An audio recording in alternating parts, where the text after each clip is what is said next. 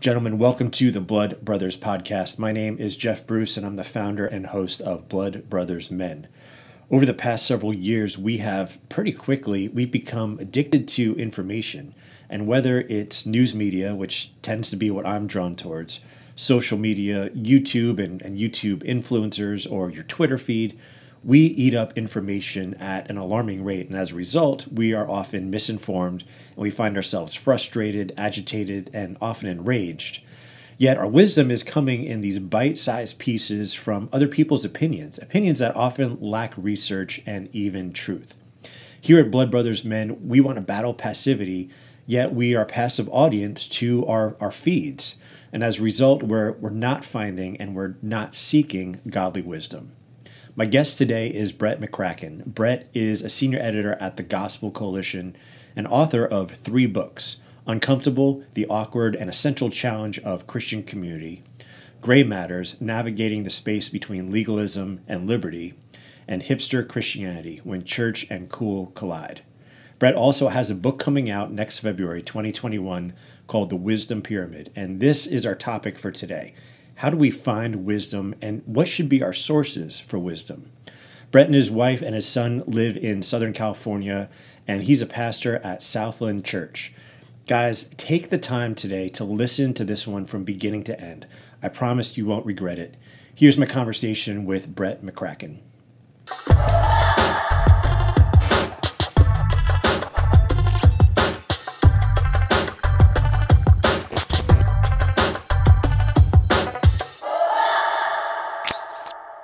All right, Brett, welcome to the Blood Brothers podcast. Uh, definitely an honor to have you on. Just kind of discovered you maybe maybe a month ago, um, and uh, I guess maybe if you want to take a couple minutes and give an intro about, um, you know, share some of your background, maybe how you came to be an author and a writer for the Gospel Coalition.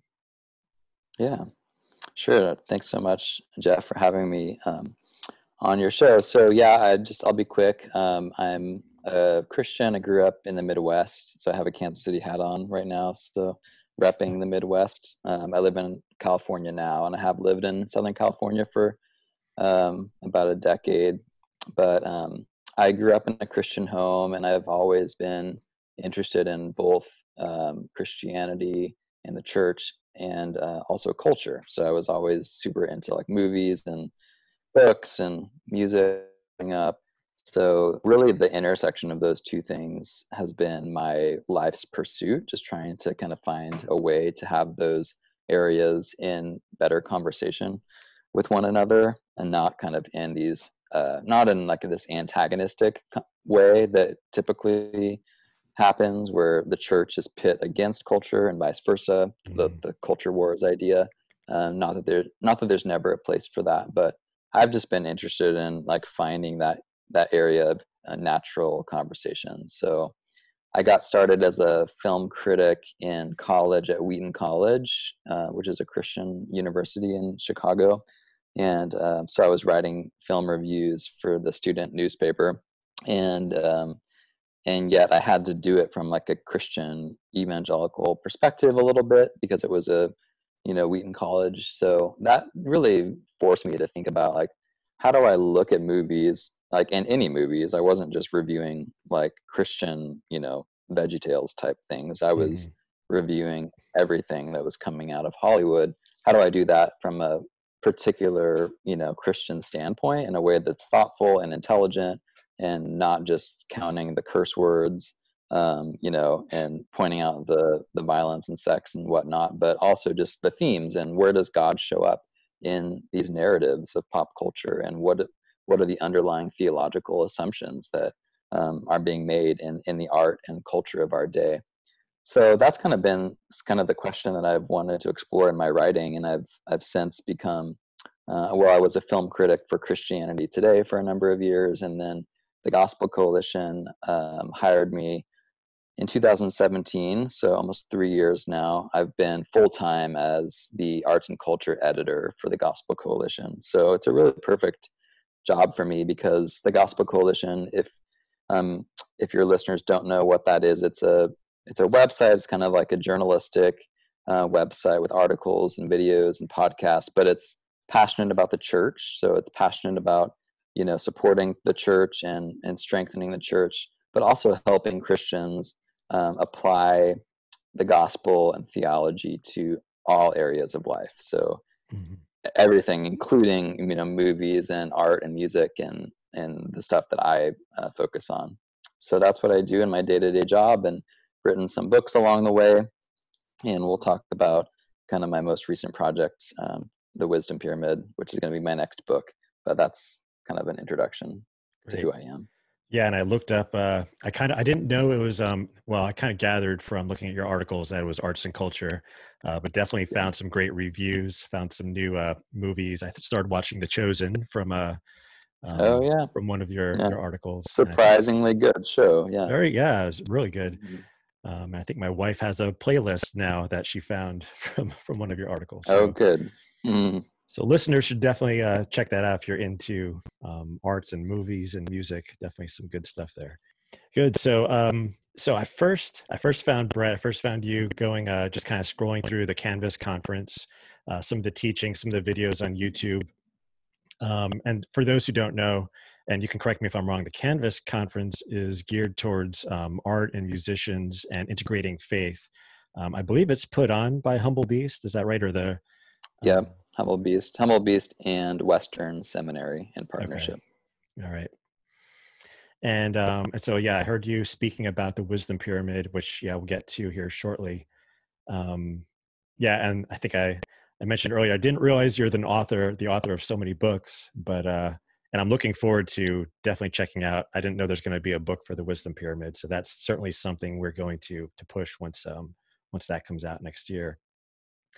Um, but let's start with what, just kind of going back to your history, what uh, drew mm-hmm. you towards being a writer? And is that something you even planned on or that just you kind of stumbled on? Um, mm-hmm. you know, something you had aspired to or, or just happened? Yeah, I mean, it definitely was an aspiration growing up. I remember, uh, you know, I had a few like dream jobs as a kid. Like architect was one of one, was one of my dream jobs. Designer of roller coasters, I think, was one of my dream jobs. Wow, right. But um, writer was another one and um, so yeah from a young age i loved books and reading and writing and so um, it really has been a blessing that that my vocational path has has followed that um, that dream that aspiration and you know how it came to be was just um, getting experience doing it and i often tell students um, like college students I, I sometimes teach classes at biola university um, and um, journalism classes and film classes. And I, I just encourage, you know, young people like um, be persistent and, and, and just getting experience doing the things you love. And in my case, I, I had jobs where I was writing, but it was like marketing writing or PR writing. And that wasn't like my dream form of writing, but it was still writing and it was still practice and it was still honing my craft as a writer so um, yeah so I, I, kind of do have my dream job now. Like i would describe uh, what i do for the gospel coalition is really the perfect fit for me and i'm so fortunate. But um, but i'm 37 and i didn't you know i didn't have my dream job at 22 right out of college. Mm-hmm. so you just got to have a little bit of grit and a little bit of endurance and you know i worked for free for a lot of time. I would submit my articles to different magazines for free and um, you know working at a coffee shop to pay the bills but you got to do what you got to do and so anyway that's yeah that's a little bit of the path to becoming a writer yeah yeah that's some that's some great wisdom right there for for people especially young people to hear as well i didn't i didn't get my dream job till i was 40 um, yeah. but but a lot of you know in, in, retrospect you look back and you see all those mm-hmm. experiences mm-hmm. and how god uses those um, totally where he's bringing you absolutely now, I've I noticed with uh, so you have the three books out right now, correct? Yep, three released already. Yeah. Now there seem to be um, just from just looking at the uh, uh, the overviews of them a connection between church and culture. Mm-hmm. So what uh what's kind of your interest there? What what were you noticing that um and if you need to go through each book, but just generally speaking, I guess, yeah. what was the connection you saw that you needed to address issues between the two? Yeah, I mean, I think part of it just goes back to what I said about growing up with those two kind of loves. Like I was a church kid. I loved the church, but I also loved culture and the movies. And, you know, I didn't feel like they often were worlds that connected, you know, and if they did, it was usually a contentious um, relationship. So I think that that's just a big passion of mine is to have the relationship between church and culture be healthier, more robust, more generative, not only contentious. And again, I do think there are times and places where the relationship between the church and the culture should be contentious because the culture is definitely going in some dangerous directions. So I'm not saying there's never a place for that, but there's also a lot of good, true, beautiful things being made by artists, you know, secular artists in the culture. And it's, I think it's a good thing for Christians to be able to recognize that and praise those things, um, but also critique what needs to be critiqued. So it's a balance. And um, mm. I have seen in my generation of, of kind of Christians who maybe grew up in a legalistic environment towards culture where it was mostly viewed as um, bad and kind of something to be feared. I've I've seen this thing where the pendulum swings to the other extreme, and it happened a little bit to me in my 20s where I I didn't want to be known as a legalistic Christian, so then I swung to the extreme liberty end of the spectrum where I was basically like everything is okay in culture and we can watch anything and whether it's you know I don't know, just like R-rated, filthy content or explicit music. What like it was like fair game. Everything is fair game, and I don't think that's helpful either. And in my in my 30s now, not to say that I'm like I've reached the pinnacle of maturity, but I feel like I've come to a more um, moderate space in the middle where I think it's healthy as Christians to be engaged in culture and to be praising what is praiseworthy about it but also to be cautious and also to be sober minded about the fact that there's a lot of damaging stuff in our culture, a lot of messages that are deeply problematic that we need to engage from a critical point of view. And I think it's a, I think it's possible to do both. So in my work at the Gospel Coalition, I try to model both of those things. Like when I see some great movies or music that's being made in, in a secular environment that actually in spite of itself speaks truth, I call that out and I say, look, here's truth that we need to celebrate. But when I see a movie that has a very dangerous false message, even if it's a movie that critics, other critics praise and say, you know, this is an Academy Award, you know, worthy film, like I think it's important that Christians can see, you know, the truth of, of the messages. So, mm-hmm. yeah, so that's kind of why I'm passionate about the relationship between church and culture. So much is at stake in that relationship. I think our witness in the world, um, in large part, depends on how how we are either shaping the culture or the culture is shaping us.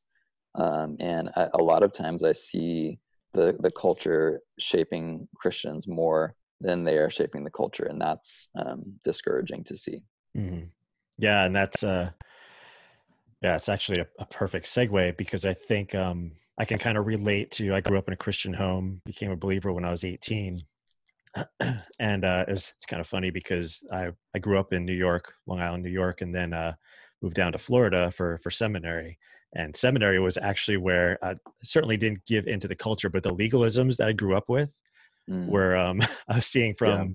fellow professors and students how legalistic I was.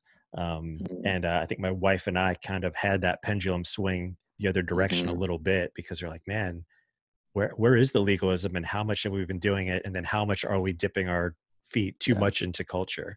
And that really is where where wisdom is needed. And I think now yeah. that was that was when the first cell phones came out, you know. Mm-hmm. And now I think mm-hmm. that is uh you know we mm-hmm. can we can drown in in the culture without even realizing it yeah um, absolutely so yeah i think that's a that's a great segue to to the wisdom pyramid and um now I'll, I'll add too that I was a, a, health and phys ed major, and so I was very familiar with the food pyramid.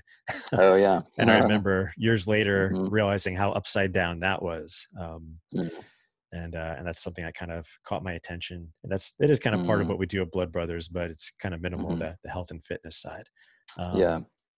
But yeah, great. why don't you kind of walk us through um, the mm-hmm. wisdom mm-hmm. pyramid as as best you can without giving away yeah. the whole book. mm-hmm. Right. Yeah. So yeah, the the wisdom pyramid was originally just an, a visual aid that I used in that that Canvas conference presentation in 2017, and it's basically inspired by the food pyramid in terms of that concept of a healthy diet is balanced. It's it's about the right proportions of um, intakes. That so in the same way that the food pyramid was about be, being healthy bodies because we have a balanced diet um, the wisdom pyramid is about paying attention to the sources of things that are coming into our minds and our souls and making sure that things are in a balanced um, you know proportion so that we're not only getting quote unquote wisdom or information from like social media which i i put social media at the top of the of the wisdom pyramid which is basically the the dessert category of the food pyramid the mm-hmm. the fats oils and sweets category use use sparingly you know right. um, so at the base of my wisdom pyramid and i can just quickly go through um, the the layers so the base of my wisdom pyramid is scripture because i think that it's we all know it and it's kind of a little bit like telling christians eat your broccoli right like we all know the Bible is the most important source of truth we have because it's God's own word. But I think functionally, uh, in our habits, in our lives, so many of us Christians don't treat it that way. We, it's almost like we know it's the most important source of wisdom we have at our disposal, but we we start our days and we finish our days usually on our phones, right? Even like having written this book and believing this wisdom pyramid, I find myself struggling every day to like I, my instinct is to look at my Twitter feed first and mm-hmm. and to read scripture only you know half hour later while I'm having breakfast. So I think it's just um, we just have to constantly be reminding ourselves that the foundation of our truth, the foundation of any sort of objective truth, comes from God, right? He is the only standard.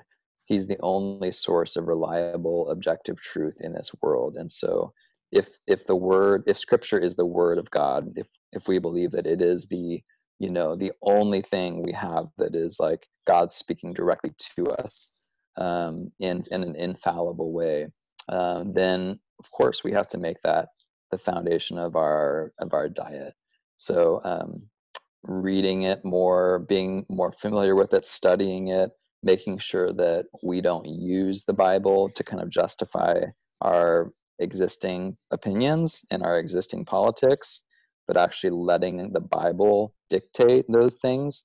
And that's a thing that I really focus on in the book, in the Bible chapter, is so often people hold up the Bible as this prop that is basically used to justify whatever they want to justify. But actually, the Bible needs to shape us more than we kind of make the Bible into whatever we want it to be. So, so that's part of what it means to put the Bible at the foundation of your wisdom pyramid. It, it is both the standard and the kind of check and balance against everything else in your mm-hmm. diet of information. Yeah, that's so, uh, yeah. that that mix of those two is uh, I'm sure you know, but is is all too common. Is mixing the social media with scripture, um, mm-hmm. whether it's mm-hmm. whether it's proof texting or just like I have something to say let me find a verse. Yeah. Let me just search the subject and see what verse comes exactly. up and throw that out there. Um, yeah, which is uh, can be just as damaging as your own totally your own words. Mm-hmm. And so many Christians are so biblically illiterate; they just don't have a good grasp of the Bible that they become very vulnerable to these voices that say, you know, the Bible says this and it justifies this political position. And, you know, if you don't know the Bible, you're in no position to counter that or mm-hmm. say like wait hold on like actually that's not representing the bible well so anyway i'm a huge advocate of like better biblical literacy like better catechesis in our church like training young people to have a better um, grasp of scripture so we, i could talk forever about uh, the bible alone. So for the sake of time i'll move on. But um, so the second le- level of the wisdom pyramid is the church. And um, my rationale there is that you know the bible is god speaking directly to us but the church is god you know god's spirit like moving to form his people. And so mm-hmm. it's kind of it's the the second most important thing for our wisdom because it's it's god's people it's it's his bride right that scripture describes this intimate union between the church and and, and jesus so um, we often kind of disparage the local church in today's world. We even Christians sometimes downplay it and say like, I can be a Christian without the church, and you know, I can just have my Bible at home, um, just me and Jesus sort of thing. Um, but I actually think there's so many reasons why the local church is uh, just utterly um, Im- important for our wisdom, and it's the accountability of community. It's it's a, lo- a lot of what the church is. Is it it provides people who can be mirrors to us who can call out things in us that sometimes we can't see in ourselves and you know the at its best the church is this group of people that are sharpening each other right iron sharpens iron pushing each other in the direction of holiness and, growing together and it's hard to grow alone um, that's a big idea in my book uncomfortable which is kind of an entire book about the importance of the local church.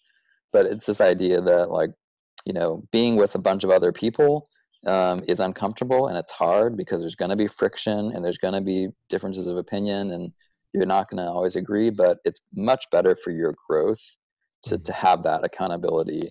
Um, anyone who plays a sport or knows that this is true, right? You, you you're not going to become a great athlete by just being totally alone and not having any accountability. Like when you're on a team when you have people who are like no you know get off get off the couch.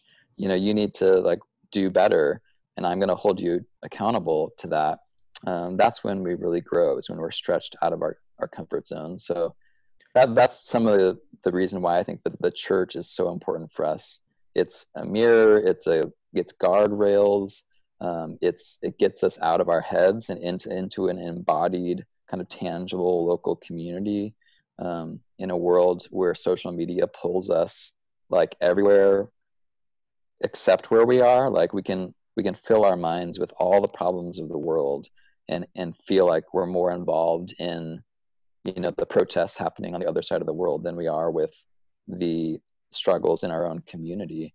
A local church community like grounds us in a, in a tangible local family. And i feel like that's where most of our wisdom in life comes from the more local communities that god puts us in whether that's our family that we're born into um, or the church family that we get to choose.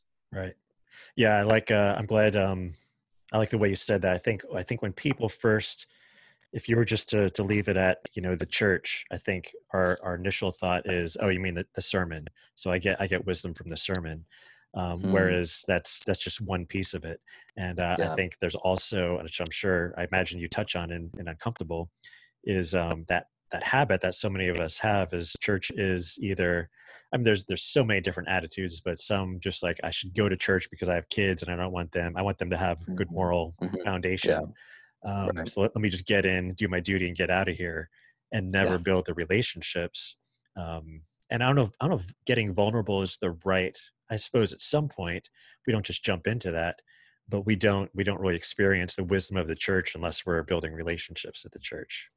Yeah, absolutely. Yeah, yeah. It's not, and that's I am such a big like um, critic of consumer Christianity, where it really is just like the church is this product that you like come on a Sunday, you get what you want to get out of it and then you leave. Like the church is we should be giving ourselves to the church and being kind of enmeshed in this this um, group of people's lives mm-hmm. so that it isn't just us getting something out of it but uh, it's us giving and sacrificing and loving and growing together in community which is messy and hard but it's ultimately for our good. Right. That's great. So um, i'll just move on to the next level and tell me if i'm spending too much time on these, but um, no, go for it. I, I, could I could talk for hours on each of these. So nature, um, like nature, the the environment, creation, God, what He has created is the next level of the wisdom pyramid. And my logic there is that, um, and you're probably sensing a pattern. It, from the bottom up, it goes like the most direct. wisdom from God um, to kind of more indirect. But creation is communication from God, right? He created this this world. It's His handiwork. The the Psalms, you know, Psalm 19 says, "The heavens declare the glory of God. The skies above proclaim His handiwork." Romans 1 talks about this, like how there's this wisdom, there's this knowledge that we have of God just by virtue of what He has created mm-hmm. in the world, in you know, in the trees, in the mountains, in uh, in our bodies, in in human bodies, which is part of nature. So um, there's huge wisdom to be gained from paying attention to that, from not cutting ourselves off from that. Um, and I actually think that um, one of the reasons why um, our society seemingly is becoming rapidly less wise and more foolish is because of the digital age and how it is distancing us from the physical material reality of creation of nature right mm-hmm. like when we live most of our lives through screens and this virtual space of social media or whatever it can be easy to just start to think that reality is in our heads. It's just an, it's just ideas that kind of um, are in virtual no man's land.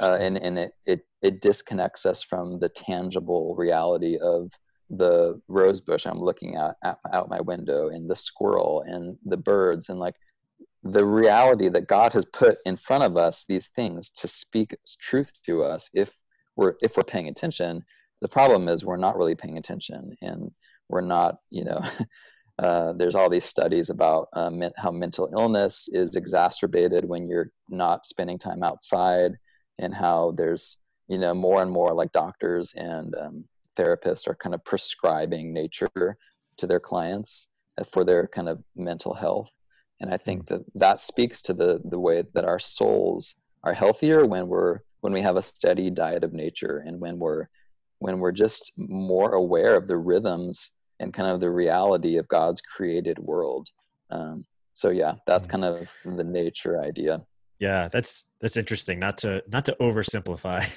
but um, during this uh, you know this time we've had we've had twelve weeks at home. Um, yeah, and uh, so my wife my wife's a teacher. She's been teaching from home, and she loves when something. We don't really have a big yard, but she loves when something nests in our yard. And so we had mm-hmm. we had uh, uh, mourning doves um, in a planter hanging out there, and and rabbits in the back and my thought is, you know, you can, like, I posted some pictures of them, and uh, my thought is if somebody, my neighbor posted pictures, I'd be like, oh, that's nice. You just kind of glance at it. But when yeah. you see it, you stop and you're just watching every move. Um, or you just even like a sunset. People post sunrises and sunsets all the time, but they don't right. just stare at their phone for a half hour. Whereas right. there's something about being there and just appreciating it without yeah. without anything else. Totally. Yeah. Yeah. I, it, I grimace when I see people like, um, you know, in national parks or in nature, and they're more concerned with like getting a, a pretty picture of, of nature to like post on social media than they are with like just being present with right. You're right the nature and letting, letting it just do to you what it's supposed to do to you. So, mm-hmm. um, part, part of what I talk about in the nature chapter, uh, and also in the beauty chapter. So this can segue to the beauty as well is just the importance of stillness and how so much of our wisdom comes with slowing down in a in a world that's increasingly hectic and fast paced and we're you know we're going crazy on twitter about this thing today but tomorrow we'll forget about it and we'll, there'll be something else you know the way that the the pace of the news and technology moves uh, it's not conducive to wisdom because it doesn't give us space to really consider things deeply and to wrestle through. So, um, one of the gifts of nature and beauty is to just like it kind of it forces us to be quiet and to just sit still and take it in and to to kind of let um, the beauty of God's creation just um, speak to us and, and and puts things in perspective. You know, during during the COVID shutdown, my wife and I we needed to get out of town, so we we took our little one year old son and we went to Utah and rented a house in like the desert in this totally remote area. And um, we turned off social media and we were trying to just disconnect from the craziness of our world. and it, it was just a good reminder that this is like it's good for the soul it's I, I had some some of my like best thinking you know i was able to do on that vacation just because i had space i had space to like have that perspective where um, i wasn't being dictated by the whims of the social media moment you mm-hmm. know i was able to think big picture and and and wrestle with things in a deeper way so that's just so important for our wisdom is to kind of push against the grain of the pace of our culture that doesn't allow for reflection um, so much of wisdom comes from that that reflective um, pace. So, right, um, so I talked a little bit about beauty, so I won't say much more about that. But um, I think the big thing with beauty is that it it's um, it's superfluous. So it doesn't it doesn't. Um, we live in a very pragmatic kind of utilitarian culture where we have to fill every moment with something useful and i don't think that's conducive to our wisdom i think the whole idea of having space having breathing room and beauty really helps us to to do that because you know it's not a, a, a, beautiful symphony you know by beethoven is not there's nothing about that that's utilitarian like it doesn't like we don't need that but that's exactly why it's good for our wisdom to right. sit still and listen to that symphony um, it's it's why you know reading novels is good you know like I think a lot of Christians can be prone to like only read nonfiction because life is too short and we need to like we need to know, you know, five steps to do this and do that. And we need yeah. to, you know. I, I feel um, guilty I feel guilty reading fiction yeah. sometimes. Yeah. exactly. No, I do too. And and I'm I have to justify that to myself as well because there's so many good nonfiction books on my list. But um, I on this vacation in Utah, I read a fiction book intentionally just to kind of be in that space of kind of superfluous, not not utilitarian, and it was like the the most profound experience. Like I, as I read this novel, I was making all these connections in my head about existence and truth and beauty and um, and yeah, I didn't expect that um, because there was nothing about the novel that going into it, I was like, I'm going to get you know these three things out of it. Um, but that's what beauty does. It surprises us with, with, the insights and the epiphanies that we're able to have when we mm-hmm. give ourselves the space to just experience um, beauty. So um, so that's beauty um, and then i have a, a section on books um, and I, I, really loved uh, writing the chapter on books in the in the wisdom pyramid um, because I'm a bookworm. I love books. I think that there's so much value, um, especially in a social media age, um, to read to reading books because they give us context. And like a tweet doesn't give us context, and so all these discussions happening in 140 characters, they just don't have a lot of nuance and they don't have a lot of complexity because they can't because it's, it's such a short space. So but if you read a book you're able to do a deeper dive right? You're able to like again take a slower pace. So um, to read a book is an investment of time. It it takes you know days weeks months perhaps to read a long book but that's precisely why it's good for our wisdom because it allows us to wrestle with an author and their ideas at, at a longer um, duration and um, and I think books also help us make connections um, in a way in a world that's so fragmentary and so much of what comes at us in our social media feeds is so disconnected. Like you'll you'll see one person post about this, and the next post is about you know a funny cat video, and the next post is about a police shooting, and it's like all these things are just jumbled together, and we don't know how to make sense of it, mm. and our brains just get tired, and our brains there's there's interesting neuroscience happening right now studying the effect of the digital age on brains. I talk a little bit about that in the book. But when your brain is constantly being kind of um, stimulated from so many directions of with random bits of information, it's forced to go into this like constant state of triage where it's like filing okay this seems important so i'll file this in one area of the brain but this doesn't seem important and when your brain is constantly in triage, it gets exhausted and there's no room left for deeper thought. And so that's what scientists are finding is that the brain's ability to function on that deeper level of reflection and connection and synthesis, we're losing that ability. Um, scientifically proven, like our brains are being rewired by the digital age. So that's why books like get off of the internet, get off of social media, and read books. Like, you know, in, in an issue like the, the, race issue that's currently in our culture, um, you know, I think it's so much more helpful to get a few good books, maybe on different sides of the debate, and just spend your time reading those and, and really wrestling with the arguments in those books rather than, you know, spending all day every day just like seeing a million opinions on social media and not having any ability to like make connections um, there. So I think books are good for making connections and making um, empathizing with others. Like in a world where we're losing that kind of ability to um, to understand each other, right? Like, like who, people who are different from us.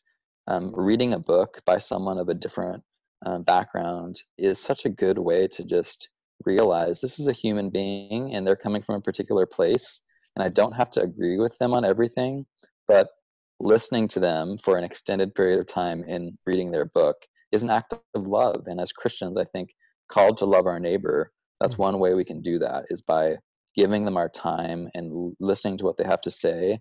And again, listening doesn't mean agreeing, and that's some, sometimes lost on Christian audiences who think that just to like um, listen to someone who is, you know, coming from a different perspective means we endorse what they say. It's not true.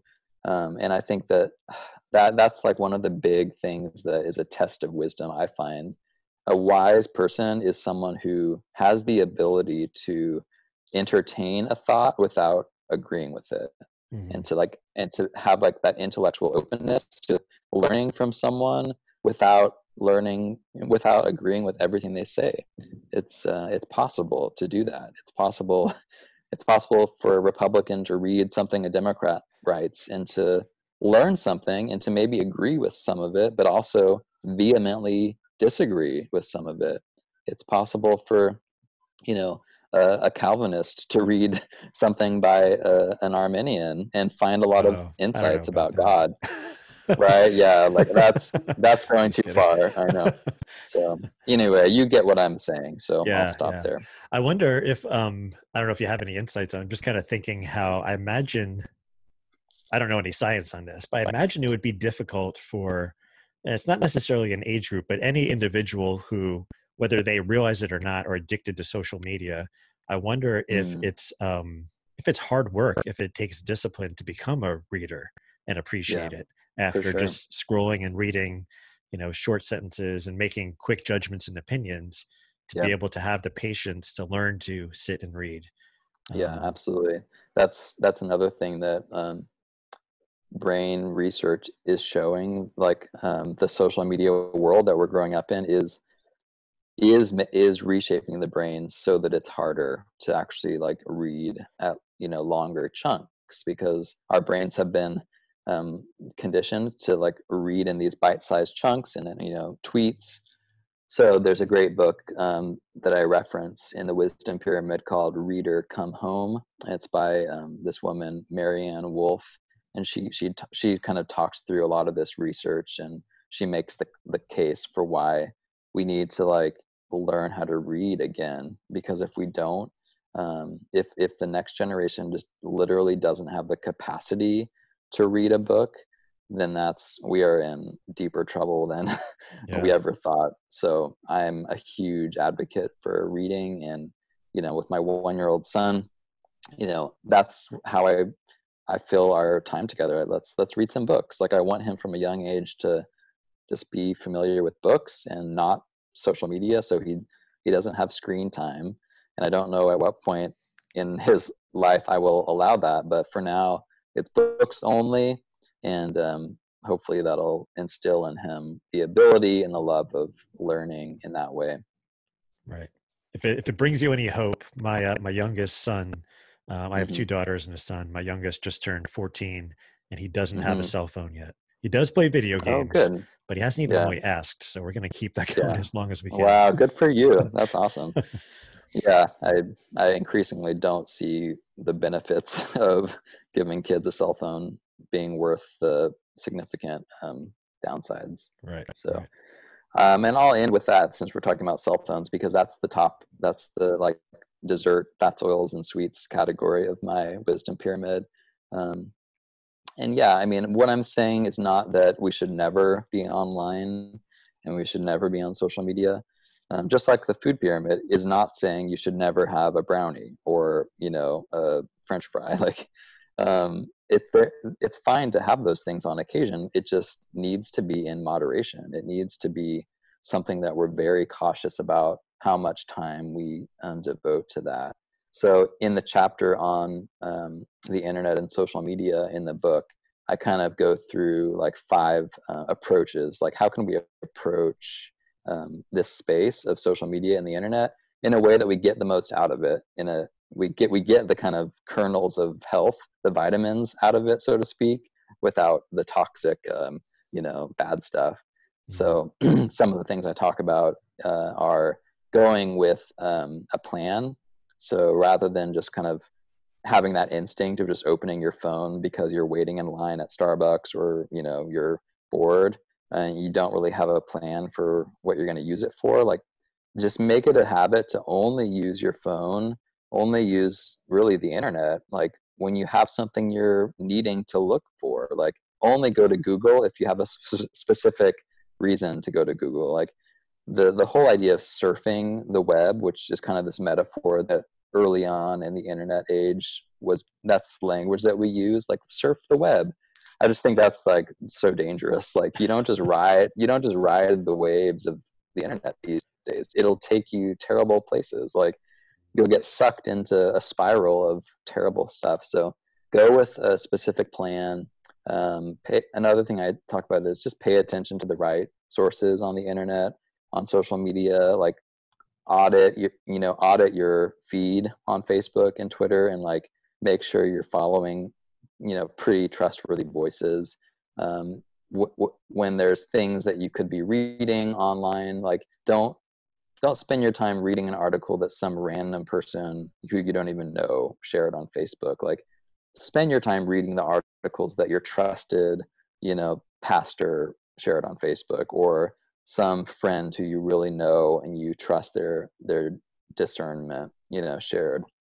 So we can easily just like find ourselves clicking on something because the headline was inflammatory and we're we're curious and unfortunately that's how so many of these internet publishers make money is because they incentivize readers to click because it's like some crazy incendiary headline um, but um, and, and this kind of connects with your whole thing about passivity like so much damage is done when we're passive consumers online on social media when we just kind of go where the tweets are taking us or where the social media mob is taking us. Like that's that's a recipe for disaster. Like instead of being passive be intentional. Like only go because you have a specific reason.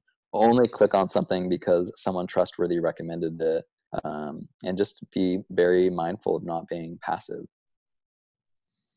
that's great yeah what um so a couple of questions kind of uh come to mind and um so kind of yeah don't want to put you on the spot but when it comes to i think what what I have found myself being tempted with more than anything is the news media. Um, and yeah. now it's it became I just feel like it's over the past couple years. Maybe it's been longer than that, but how blatantly, clearly they're divided, and there's no hiding that. They're mm-hmm. they're all we know which side we're on. Um, yeah, right. How how do we how do we get news that's trustworthy?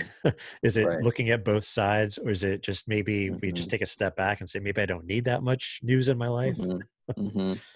Yeah, I mean, I would lean towards that, the latter, right? I, I think that we have this um, weird sense of expectation and um, urgency to like needing to be in the know about everything happening in the news and that that in itself is a form of passivity because we're just we're just feeding into what these news channels want. They they want us to be addicted to being in the know and having to like be aware of whatever the breaking news story is that they're pushing that that hour and they they're invested in getting people hooked right like i have relatives like who are news junkies and i just see what it's doing to their their souls and it's um, so bad so i don't have news like i don't we don't have tv i don't we don't have cable like i try not to check um, news websites very often and i don't have any i don't have any problem being aware of the world like i I somehow it finds its way to me. Um, so I, I would just caution people like don't think that you need to like go out of your way to just like check you know whatever cable news channel you check or whatever website. Like if it's important enough like someone in your network will let you know about it. Somehow you'll hear about it. Uh, i just think it's unhealthy as a society when uh, we are so in the business of everyone else in the world. Like prior to about you know 50 years ago or 100 years ago most humans in history were only aware of the problems close to home in their own family in their own community maybe you know moving outward a little bit to their own nation. But they certainly were not aware of the problems on the other side of the world. They certainly weren't aware of you know some injustice happening on another continent. And not to say that it's not valuable to be aware of some of that and to be angry about it but humans were not created to bear the burden of every injustice everywhere in the world happening in real time. I think that we were created to be more locally embedded and rooted in a specific place and aware and engaged in the news and the problems that we can actually do something about. I think there's a part of our mental stress in the digital age is that we are hyper aware of grievances and problems everywhere in the world, but 99% of it we can't do anything about, you know, right. except maybe except maybe share a hashtag about it on social media in solidarity.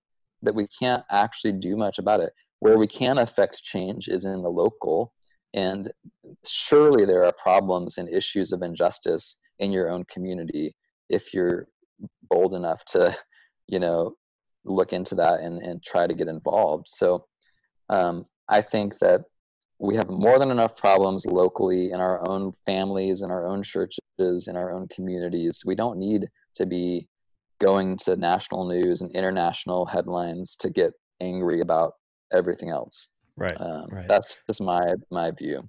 Yeah i like that and i've i've found myself um, drawn to uh, to watching the news at night, and um, I kind of gave myself a pat on the back because I I watched The Office uh, pretty much from beginning to end instead of watching the news for the past couple months. Oh, so that makes me feel better. You're probably way better off just I know. in every way because of that decision.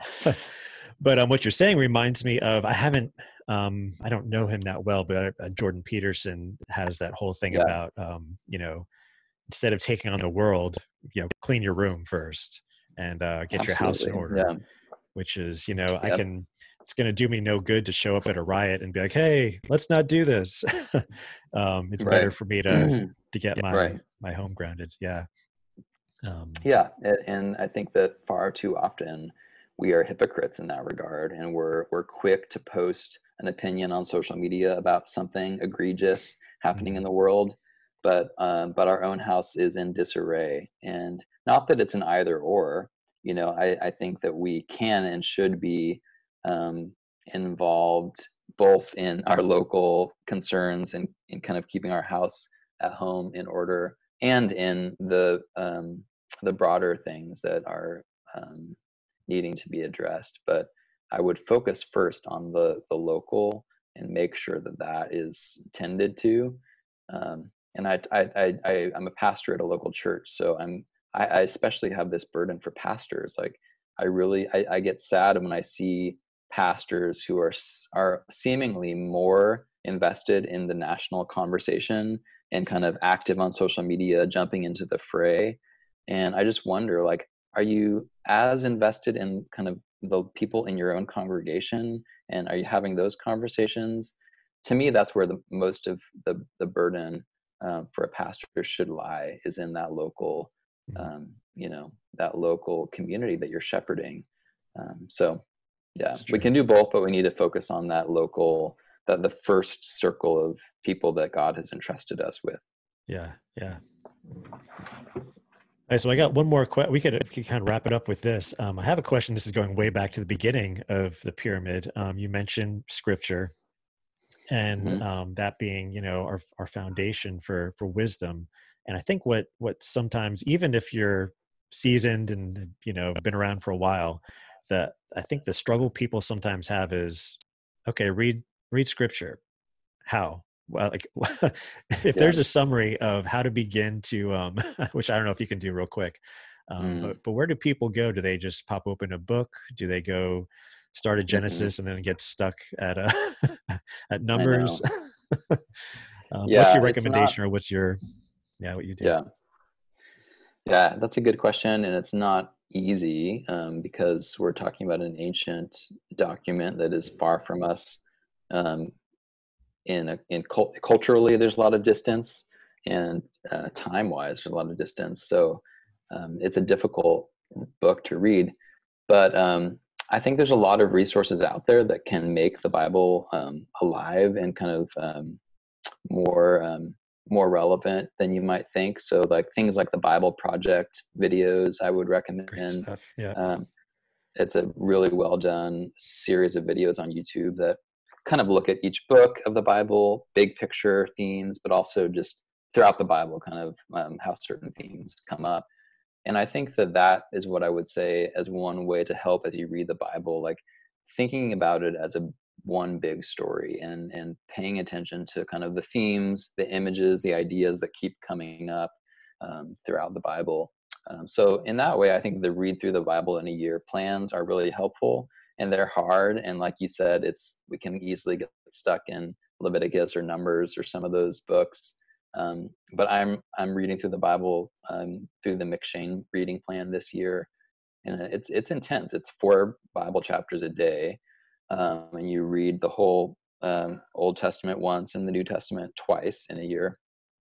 Um, but um, I, I think it was Tim Keller. I heard someone say like just advice when you're reading through those plans like it's okay to just read pretty fast and you don't have to like wrestle with every word and phrase and it doesn't have to be this deep study every day like there's value in just kind of reading through it quickly and you know the more you do that with the bible the more familiar you are with it and mm-hmm. um, it's amazing what you just your your brain will just pick up just from the habit of reading the bible um, so some mornings, if I'm honest, when I read my daily Bible reading, I'm kind of a little bit checked out and I'm like just kind of trying to get through it quickly so I can move on with my day.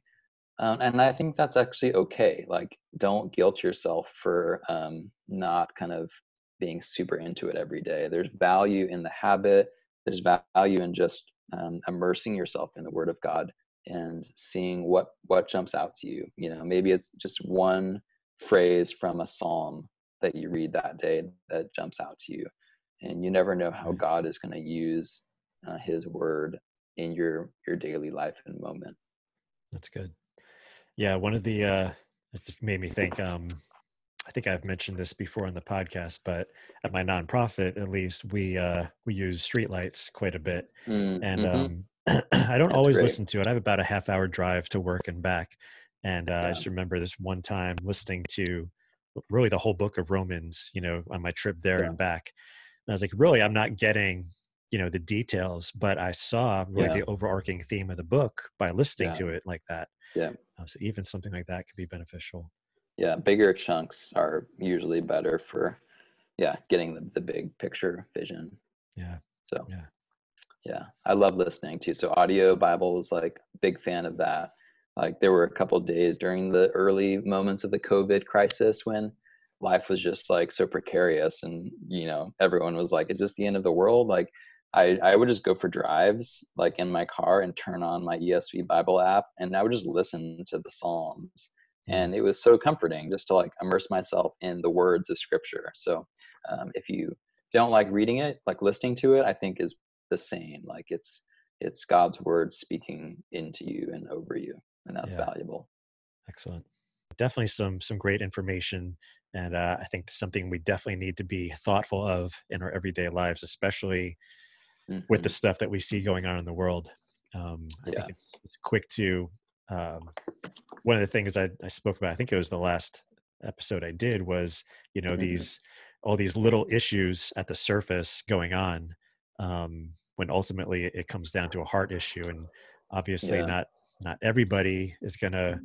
hear and listen. Um, but if we can deal with the heart and uh, and preach the gospel, um, that's going to have a better effect than us talking to people about um, you know just just specific mm-hmm. issues but mm-hmm. yeah i think that's i mean that's the thing about wisdom is that it's um, it makes us more effective in every area of life because what we have to say how we approach a problem is so much more insightful because of wisdom. And it's not it's not about the, the more information you have or the more um, data at your disposal. Wisdom is different than that. It's it's an accumulated sense you know it's an intangible kind of posture that um, yeah that helps us be better humans and helps us to be better decision makers um, so yeah. that's why it's so important how can uh, how can people connect with you and find your books and, and learn more especially find out when uh, wisdom pyramid is going to come out um, so it's coming out february of 2021 and I can send you the link of um, the Crossway has a, a, little website for the book or just a page that has the, the book cover on it, and you can see that. Um, and then just generally, people can connect with me on brettmccracken.com. It's kind of my website where I put all the information about my books and uh, latest articles and stuff. Great, great. Well, thanks, Brett. It was an honor having you on. Appreciate uh, your wisdom. Thank you. Thank you. I appreciated the chat and love um, love, love the idea of your podcast. I think it's so good, so important to push back against passivity in every sphere that that we are challenged by that. Yeah, yeah. Well, thank you very much. All right. Thanks, Jeff. So there you have it, guys. Make sure you check out Brett's website and certainly his books. And of course, watch for the Wisdom Pyramid coming out next February 2021.